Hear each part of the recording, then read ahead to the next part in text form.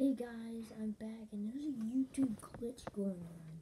So, if you click on your video and watch about 20 seconds of it, if it's long, if it's like short, like a couple seconds long, just watch the whole video.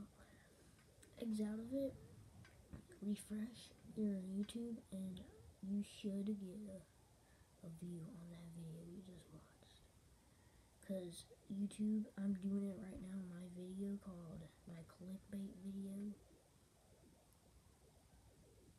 Called, um, Bill Gates, I talked to Bill Gates. OMG. Yeah, that was so diabolic. And yeah, I'll see you in the next video. Hopefully no one watches this video before they watch the Bill Gates video.